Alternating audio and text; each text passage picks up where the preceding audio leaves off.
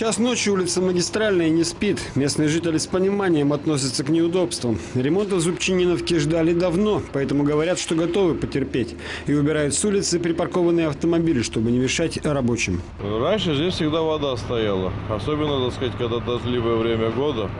И когда заезжаешь в любую лужу у нас в Самаре, вообще в любом городе, всегда боишься, что оставишь ходовку, порвешь колеса и еще что-нибудь. Я думаю, что, наверное, это, эту проблему на этой дороге решат.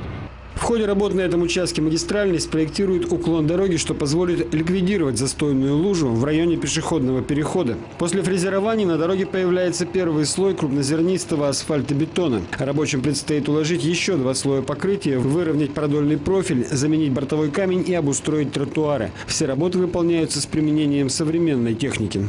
Для того, чтобы найти как бы высоту бортового камня, мы сначала выравниваем систему электронного нивелирования, а потом по высоте нижнего слоя уклада- устанавливаем бортовой камень.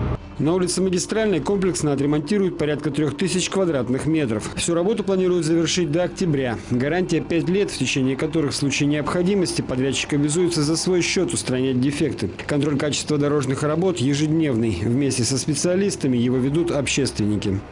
Контролируем ход работ, э, адекватно контролируем как бы этот данный ход работ. То есть какие-то если замечания, недочеты говорим подрядчикам, говорим департамент, э, сообщаем. Соответственно, подрядчик относится с пониманием, все э, косяки, какие-то недочеты выполняет, то есть исправляет. В принципе, претензий нету никаких. Из бюджета всех уровней на ремонт самарских дорог, включая комплексный, выделена беспрецедентная сумма – 1 миллиард и 700 миллионов рублей. Для сравнения, за последние пять лет на эти цели в сумме направлено порядка 6 миллиардов.